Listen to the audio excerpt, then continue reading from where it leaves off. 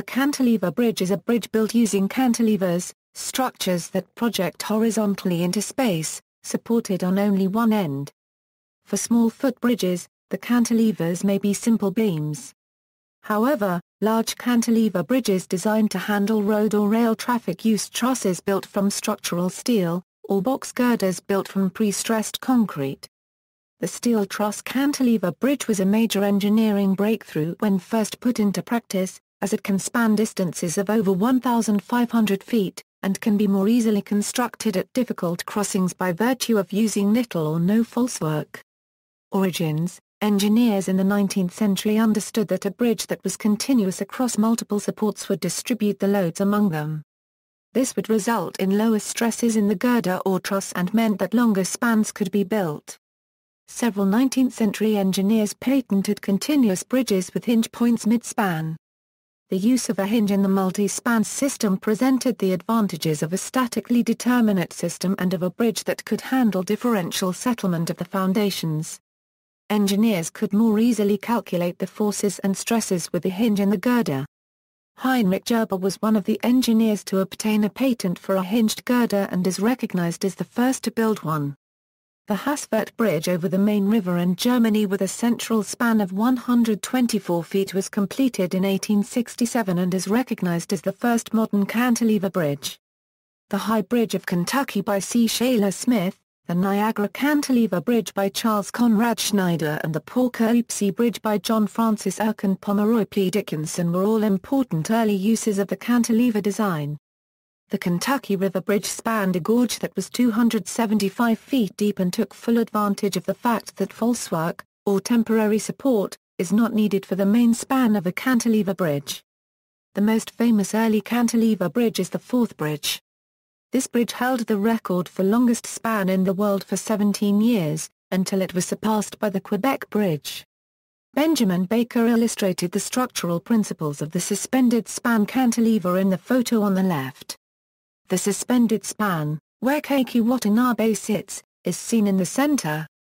The need to resist compression of the lower chord is seen in the use of wooden poles while the tension of the upper chord is shown by the outstretched arms.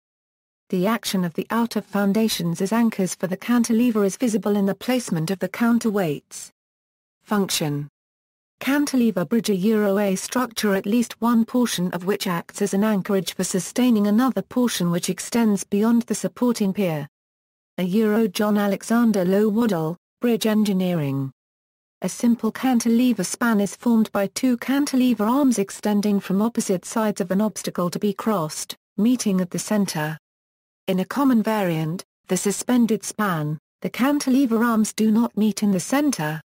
Instead, they support a central truss bridge which rests on the ends of the cantilever arms. The suspended span may be built off-site and lifted into place, or constructed in place using special traveling supports. A common way to construct steel truss and pre-stressed concrete cantilever spans is to counterbalance each cantilever arm with another cantilever arm projecting the opposite direction, forming a balanced cantilever. When they attached to a solid foundation, the counterbalancing arms are called anchor arms. Thus, in a bridge built on two foundation piers, there are four cantilever arms, two which span the obstacle, and two anchor arms which extend away from the obstacle. Because of the need for more strength at the balanced cantilever's supports, the bridge superstructure often takes the form of towers above the foundation piers. The Commodore Barry Bridge is an example of this type of cantilever bridge. Steel truss cantilevers support loads by tension of the upper members and compression of the lower ones. Commonly, the structure distributes the tension via the anchor arms to the outermost supports, while the compression is carried to the foundations beneath the central towers. Many truss cantilever bridges use pin joints and are therefore statically determinate with no members carrying mixed loads. Pre-stressed concrete balanced cantilever bridges are often built using segmental construction.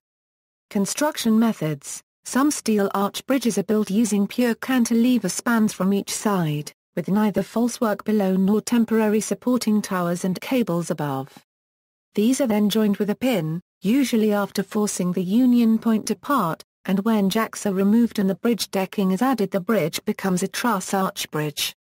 Such unsupported construction is only possible where appropriate rock is available to support the tension in the upper chord of the span during construction, usually limiting this method to the spanning of narrow canyons. List by length. World's longest cantilever bridges, Quebec Bridge 1,800 feet, Forth Bridge 2x 1,710 feet, Minato Bridge 1,673 feet, Commodore Barry Bridge 1,644 feet, Crescent City Connection 1,575 feet, Howrah Bridge 1,500 feet, Gramercy Bridge 1,460 feet, San Francisco Euro Oakland Bay Bridge 1,400 feet, Horace Wilkinson Bridge 1,235 feet, Tappan Zee Bridge 1,212 feet, examples. References. External links, Cantilever Bridge by Sándor Kabai, The Wolfram Demonstrations Project, 2007. Bridges a Euro Their structure and function, Brantacan, biggest of finished girders go traveling, six giants of 70 tons gave engineers a hard nut to crack, Popular Science Monthly, February 1919, page 79, scanned by Google Books, http books.google.com slash books question mark id equals 7 ig dambaj ampersand pg equal pa 79